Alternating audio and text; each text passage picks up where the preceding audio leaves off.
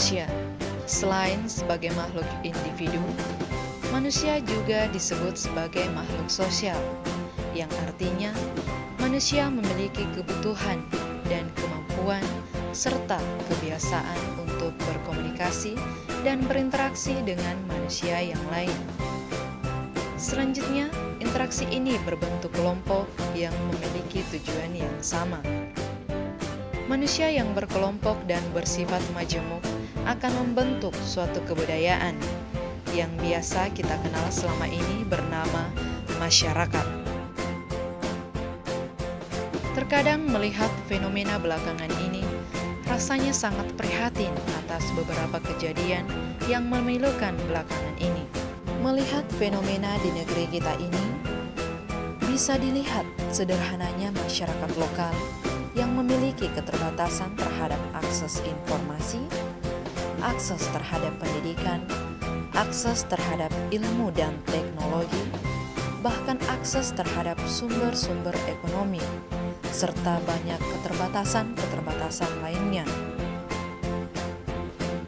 Menjadi awal terjadinya keluh kesah masyarakat kepada perusahaan seperti yang terjadi di luar daerah Kabupaten Pasangkayu, Sulawesi Barat, akibat tidak ada etikat kepeduliannya kepada masyarakat, dikarenakan proses pendekatan ke masyarakat hanya bersifat normatif dan cenderung tidak membangun kehidupan yang bermasyarakat secara dari hati ke hati dan berkelanjutan. Menyikapi hal-hal tersebut, PT Astra Agro Lestari menyikapi hal-hal tersebut. PT Astra Agro Lestari area Celebes 1 tersadar dan tergerak melalui salah satu upayanya adalah menyiapkan etalase-etalase cantik, berbagai kegiatan sebagai bukti bahwa perusahaan telah memberikan kepedulian kepada masyarakat, sehingga tidak ada keluhan akibat belum adanya kepedulian yang diberikan perusahaan kepada masyarakat dan bentuk pencegahan agar tidak terjadi seperti yang terjadi di berbagai daerah di luar Kabupaten Pasangkayu. Anda tidak mungkin bisa memberi tanpa menjadi lebih pantas untuk menerima. Maka, semakin besar yang ingin Anda terima, harus semakin banyak yang Anda berikan. Temukanlah kebaikan yang bisa Anda lebihkan untuk orang lain, agar Tuhan melebihkan yang Anda butuhkan. Menerima adalah akibat dari memberi. Satu kalimat indah yang harus diingat selalu. Perusahaan akan memberikan kepercayaan, menerima, dan dukungan dari masyarakat ketika perusahaan tersebut lebih pantas untuk menerimanya maka semakin banyak yang perusahaan berikan kepada masyarakat, maka semakin banyak pemberian, dukungan, penerimaan, dan kepercayaan dari masyarakat kepada perusahaan. Melalui program CSR atau Corporate Social Responsibility adalah suatu konsep atau tindakan yang dilakukan oleh perusahaan sebagai rasa yang dilakukan oleh perusahaan. Sebagai rasa tanggung jawab terhadap perusahaan melalui program CSR atau Corporate Social Responsibility adalah suatu konsep atau tindakan yang dilakukan oleh perusahaan.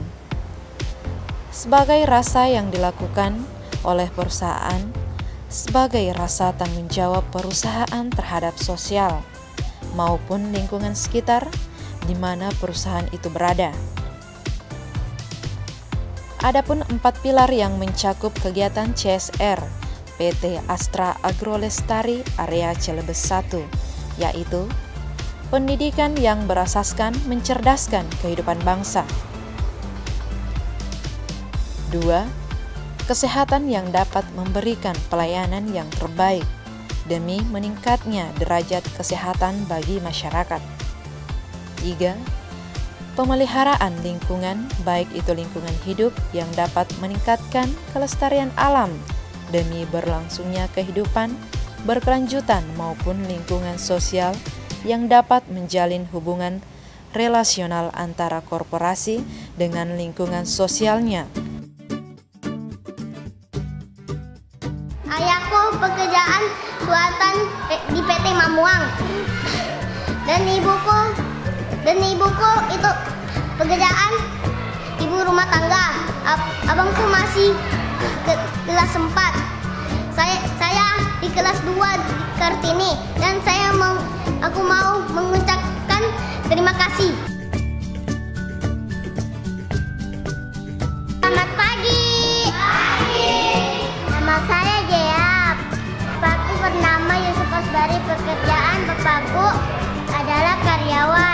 Nama ibuku Albertin Yosi. Pekerjaan ibuku menjadi ibu rumah tangga. Dan kakakku bernama Fikir. Dia masih bersekolah di kelas 1 SMP PT Pasangkayu. Dan aku masih bersekolah di kelas 2 Kartini. Terima kasih. baik itu terkait keamanan maupun keselamatan berbagai pihak. Pemberdayaan ekonomi melalui sistem IGA atau kemitraan yang diharapkan dapat membuka peluang usaha dalam rangka meningkatkan derajat hidup sosial ekonomi dari masyarakat dengan adanya perusahaan berada di tengah-tengah kehidupan masyarakat yang majemuk. Secara umum, fungsi dari CSR adalah sebagai bentuk tanggung jawab perusahaan terhadap berbagai pihak yang terlibat maupun yang terdampak baik secara langsung maupun tidak langsung atas aktivitas perusahaan dengan memberi perhatian. Aktivitas perusahaan dengan memberi perhatian aktivitas perusahaan dengan memberi perhatian yang lebih kepada pihak-pihak yang berada di sekitar perusahaan.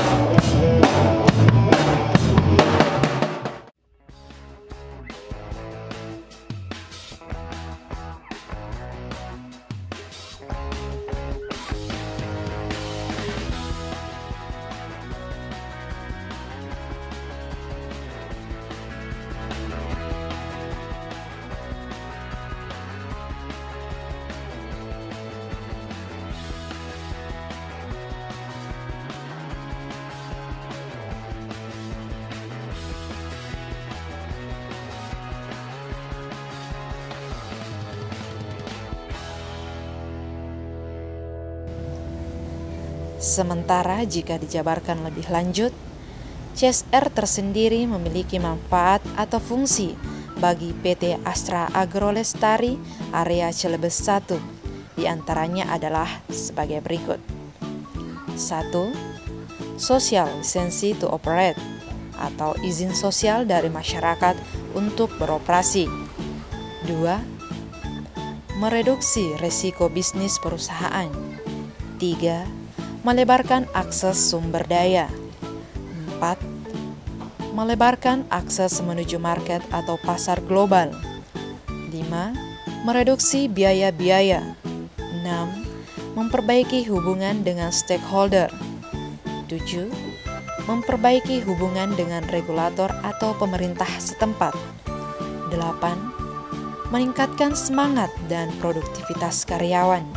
9 peluang mendapatkan penghargaan dan citra yang baik secara global, sejahtera bersama bangsa adalah salah satu hal yang ingin kami bangun antara masyarakat dengan PT Astra Agro Lestari Area Celebes 1 sehingga bersinergi dan menjadi salah satu kekuatan yang besar yang dapat membangun Kabupaten Pasangkayu menjadi kabupaten yang modern, maju, sejahtera, dan madani. Majulah Kabupaten Pasangkayu, majulah PT Asra Agrolestari Area Celebes 1. Perkenalkan, nama saya Agan. Saya duduk di kelas 8 Celebes. Nama kedua orang tua saya Markus dan Yodu. Tempat tinggal saya di Dusun Saluraya. Pekerjaan kedua orang tua saya menanam jagung, kacang, dan sayur-sayuran. Saya menerima beasiswa anak suku Bunggu dari PT Pasangkayu, Astra Agro Lestari, dari kelas 7 sampai kelas 8 sekarang ini.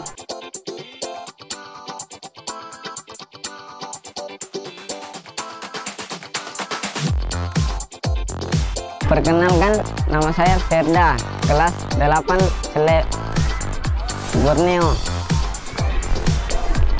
Nama, nama orang tua saya Yanus dan Dinar. Pekerjaan di kebun menanam jagung dan kacang. Saya mendapatkan biaya siswa anak suku Bunggu dari PT Pasangkayu Astra Ago Lestari dari kelas 7 sampai kelas 8 Borneo.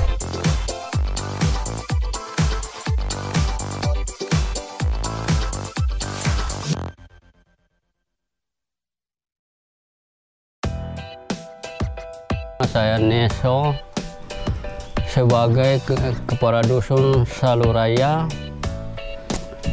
bahkan mewakili anak-anak saya yang sekolah di SMP PT Pasangkayu. Saya itu lebih bersyukur dan apa namanya dan berterima kasih kepada PT Pasangkayu sebagai Astra Group Agro Lestari untuk membantu anak-anak kami dari suku Bungku atau sebagai suku Da'a. Karena kami tidak ada lagi yang selain pengharapan kami dan siapa lagi yang membantu kami kasih selain dari apa namanya Astra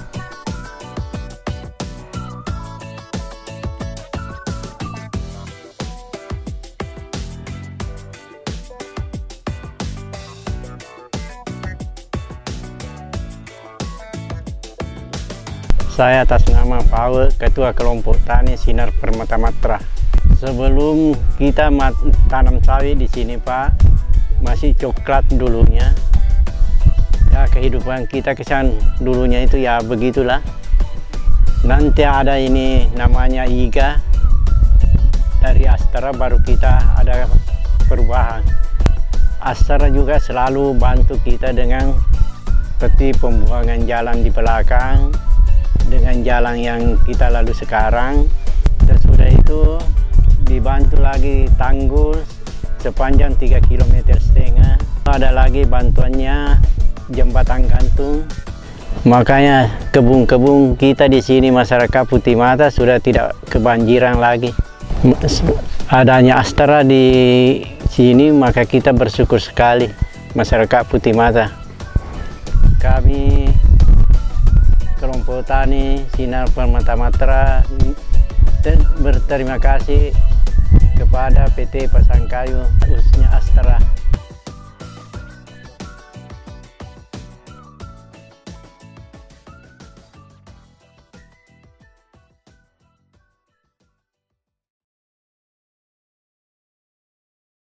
Nama saya Christian.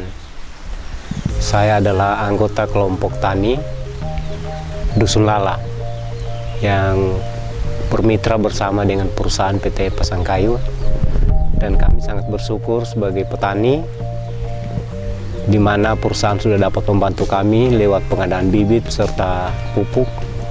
Dan ini merupakan satu hal yang bagus menurut kami sebagai masyarakat.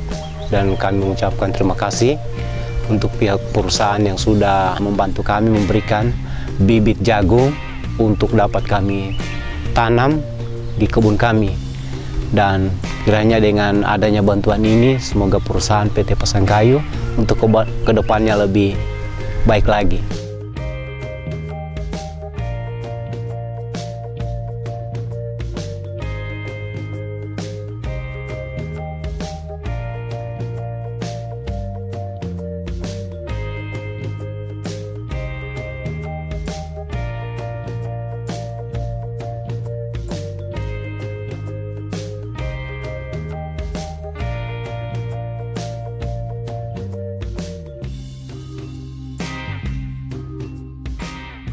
Tahun 2002 sudah ada informasi bibit dibagi ke masyarakat sekitar PT Pasangkayu.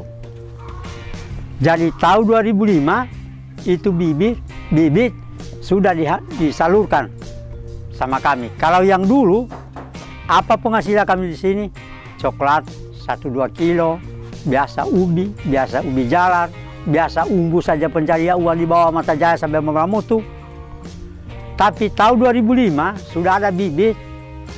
Saya lihat itu perkembangan perusahaan eh, Astra sudah memberikan bibit. Terpaksa itu coklat kami tumbak, kami ganti saldi. Sudah ada bibit dari perusahaan. Tahun 2005, 2006 saya jual kelapa di Tosoni, kelapa biasa. Ongkos bibit yang diberi ke perusahaan dengan kami. Nah, saya jual 100 pohon untuk ongkos tahun 2008, 2009, 2010 nah, mulai dijual sudah dengan perusahaan PT Pasangkayu. Tahun 2010, 2011 nah, sudah mulai ramai sudah. Coba semua eh, diberi ke perusahaan sudah berbuah semua. Tahun 2012 di situ kami mengimati sampai tahun 2018 ini. Kalau yang dulu kami masyarakat suku-suku yang ada di sini, masyarakat su, suku Tarasin di sini, memang itu lewat-lewat ketemu ke orang-orang, ada sebagian orang nakal, ada sebagian orang baik, biasa mobil, ketemu di jalan, tutup pintu, biasa motor, cuma dikala begitu kita jalan kaki. Tapi kalau sekarang sudah ada pengerja perusahaan dengan kami, sekarang biar anak-anak ada motor. Orang tua juga ada mobil, ada motor. Kalau perang anu perusahaan dengan masyarakat itu luar biasa baik-baik. Nah, luar biasa dia. Sebab uh, perusahaan memberikan bantuan buka semua satu macam bibit. Sementara berhasil saat ini orang tidak mendapat bibit, ada lagi bibit jagung, ada lagi ternak ayam, Sampai sekarang masih ada di kanda-kanda orang itu. Begitu juga jago. Sekarang masih ada. Maka itu pengertian perusahaan dengan masyarakat di sini sudah tidak ada lagi loyo atau lemah seperti yang dulu. Sekarang perusahaan betul-betul. Sekolah juga anak-anak di Palu, beberapa orang ditanggung perusahaan. Nah, buka lagi semua tanaman. Ya, itu perusahaan kebaikan kalau disanggupi, saya rasa lebih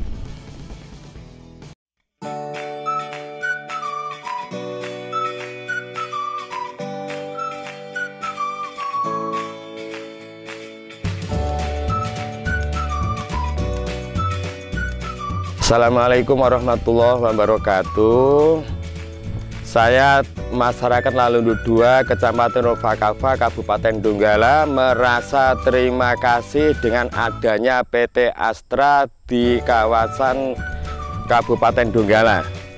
Karena selama ini masyarakat Lalundu khususnya istilahnya kalau tidak ada perusahaan Astra tidak tahu kau yang jadi apa. Karena Seingat saya tahun 2007-2008 itu masa uh, PT Astra membantu bibit yang dinamakan bibit iga.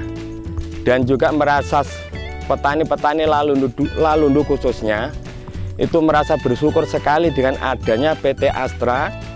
Karena selama ini bantu-bantu mengenai jalan apa karena selama ini dari pemerintah koyoknya belum ada istilahnya untuk bantuan untuk jalan. Maka dari itu saya, saya sebagai masyarakat lalu dua dan juga petani lalu dua merasa terima kasih sekali dengan adanya PT Astra atau PT LTT.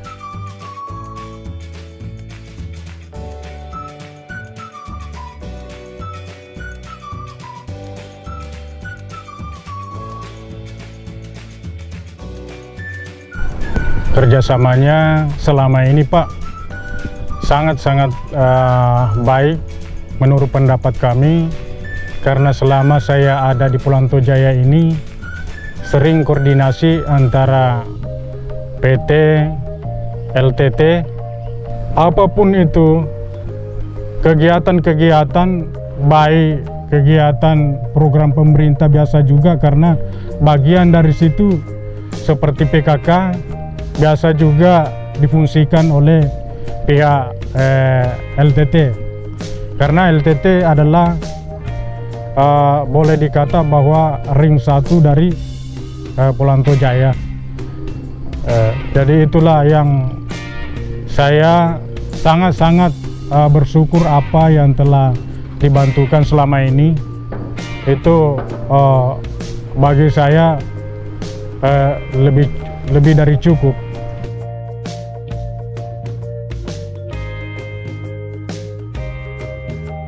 Kami atas nama pemerintah Desa Tike, Pak, berterima kasih kepada adanya PT Letawa di wilayah kami sebagai mitra kerja. Selama saya dilantik, Pak, sudah kurang lebih dua tahun, kami sudah bekerja sama dengan PT Letawa Astra. Jadi kami memasukkan memasukkan dana dana CSR ke kami itu ada penimbunan lapangan itu 100 red dengan alat berat sekitar 10 jam.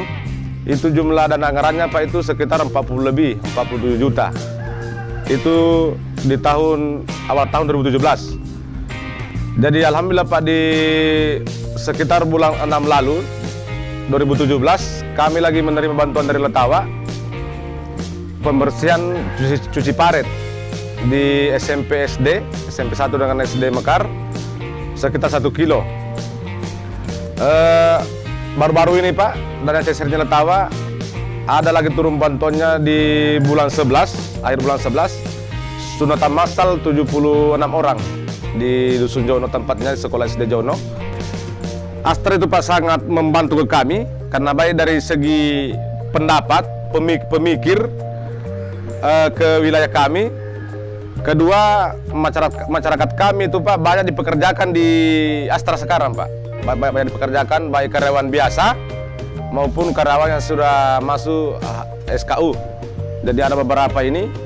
Jadi saya hanya minta mudah-mudahan Astra ini ke depan lebih bagus lagi, lebih bagus lagi ke ke masyarakat.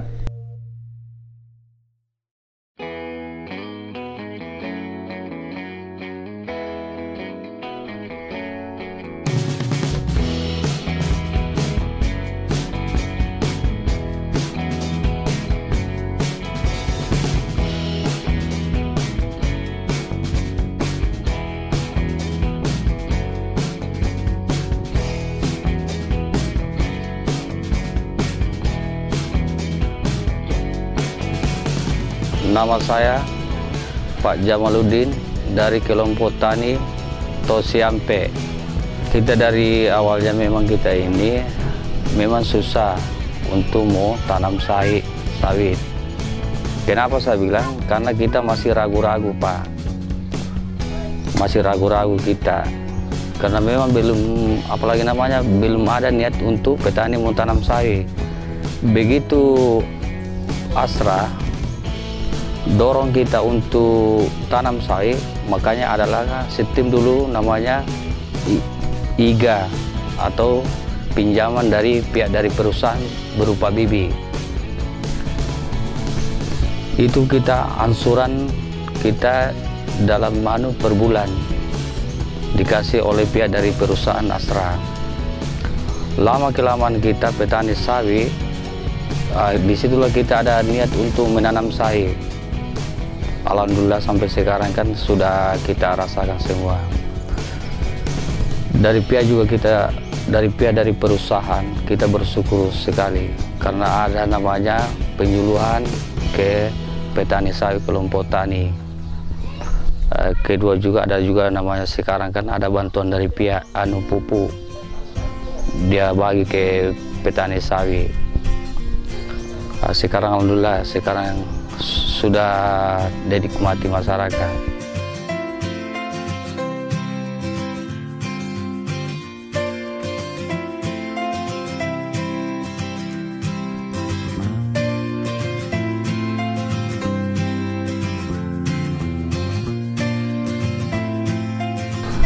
Awalnya Astra masuk di sini pada tahun 94 nah itu mulai. Nah itu dibukanya pelabuhan Tanjung Bakau 94 jadi di situ mulai masyarakat sekitar eh, berproduksinya Tanjung Bakau itu apa. Di situ masyarakat sudah nikmati. Jadi melangkah lagi kita masuk tahun terbuka lagi IGA toh kita diberi IGA tahun 2008 mulai. Jadi kemitraan dengan masyarakat perusahaan itu sangat-sangat cukup Pak. Jadi mudah-mudahan Astra ini ke depan lebih baik lagi harapan kami. Karena sekarang kita sudah lihat bahwa ya sangat-sangat baik tapi mudah-mudahan lebih baik lagi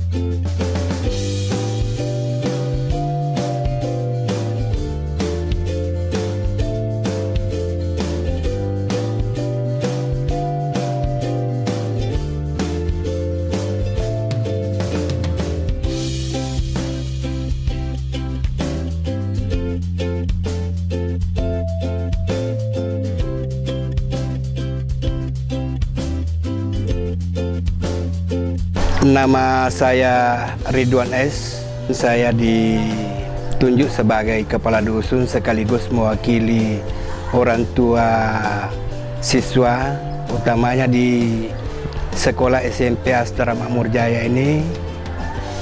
Kami sangat merasa bangga sebagai orang tua murid dari masyarakat atas keberadaannya perusahaan terutama adanya sekolah di SMP Astra Makmur Jaya ini kami sangat merasa bangga dan sangat senang sekali. Karena kenapa? Kami merasa sangat terbantu. Karena perusahaan menyediakan fasilitas termasuk mobil jemputan fasilitas lainnya. Jadi kami sangat merasa merasa bersyukur sekali. Sekali lagi saya ucapkan terima kasih banyak kepada uh, eh, PT Astra khususnya PT Letawa yang berada di daerah kami ini.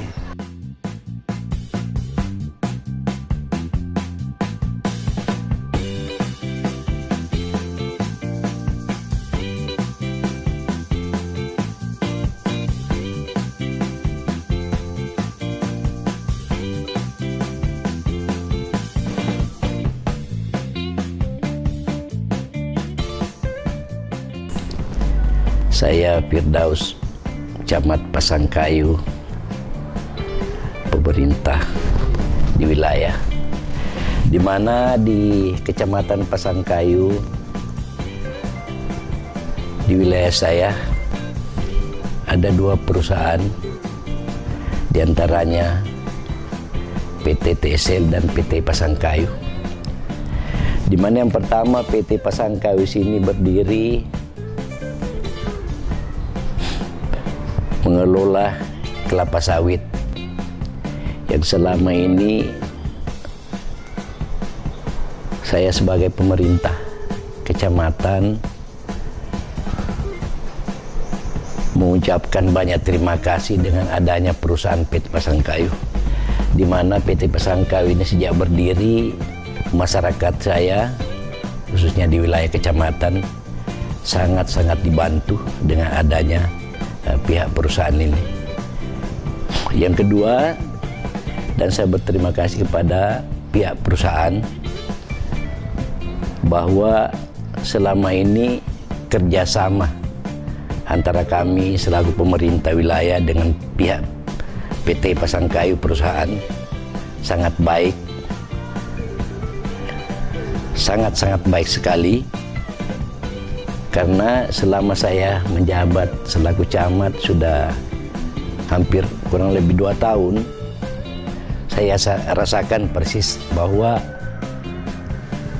PT Pasangkayu atau perusahaan ini sangat membantu kami dan kami juga senantiasa membantu pihak perusahaan jika ada hal-hal yang mungkin eh, yang kami harus tangani selaku pemerintah wilayah.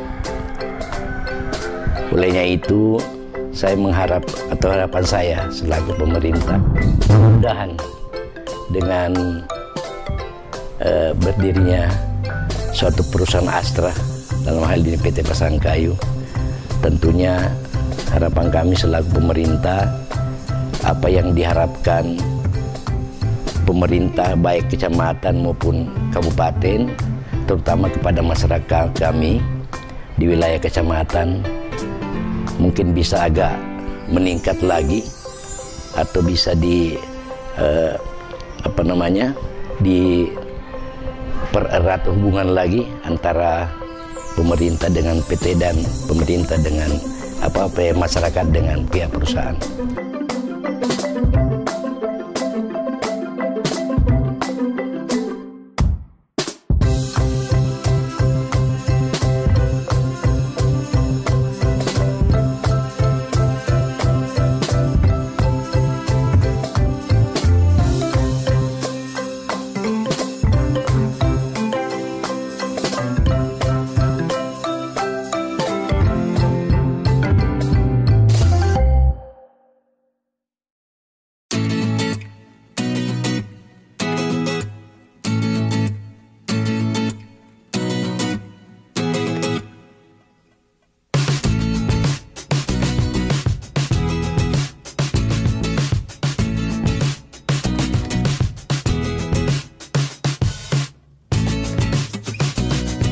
Di tahun 2018 PT Astra Agro Lestari tepat berusia 30 tahun. Memasuki masa 30 tahun, di samping menjalankan kegiatan usaha secara profesional, perusahaan juga menjalankan program CSR yang dibungkus dalam empat pilar, yaitu pertama ekonomi, yang kedua pendidikan, yang ketiga kesehatan, dan yang keempat adalah konservasi. Untuk di bidang ekonomi, hal yang dikembangkan adalah kemitraan dalam hal ini kemandirian dari masyarakat sekitar, baik itu bergerak di bidang kelapa sawit ataupun bergerak di bidang lainnya. Secara prinsip, kita melatih masyarakat untuk menjadi mandiri. Di bidang pendidikan, perusahaan sudah membangun fisik bangunan baik yang ada di dalam perusahaan maupun di luar perusahaan. Dan hal ini untuk membantu pemerintah dan karyawan supaya menikmati pendidikan persis seperti yang ada di kota. Bahkan di pendidikan beberapa sekolah kita sudah masuk ke tingkat provinsi sampai dengan tingkat nasional. Di bidang kesehatan, perusahaan menyiapkan poliklinik kebun di setiap site dan melakukan pelayanan-pelayanan seperti posyandu, donor darah, sunatan massal untuk masyarakat sekitar dan juga karyawan. Untuk masalah kesehatan, eh, PT Astra Agro Lestari, khususnya PT Mamuang, itu pada tahun 2017 itu masuk menjadi juara dua tingkat nasional untuk kategori poliklinik perusahaan. Dan selanjutnya di bidang konservasi, kita juga sudah melakukan beberapa eh, program dalam hal ini penanaman tanaman pohon langka dan mangrove. Khusus mangrove ini suatu kebanggaan besar untuk kita dan Provinsi Mamuju Utara khususnya bahwa perusahaan yang mendapatkan Kalpataru adalah PT Astra Agrolestari khususnya PT Letawa. Dalam hal ini kita sudah melakukan penanaman mangrove sebanyak 210 ribu di pesisir laut Sangkayu. Dengan 30 tahun PT Astra Agrolestari ini semakin memberikan kontribusi yang nyata bagi masyarakat dan tetap profesional dalam menjalankan perusahaan. Tetap mengetahui aturan dan siap untuk mendukung pemerintah dan memajukan masyarakat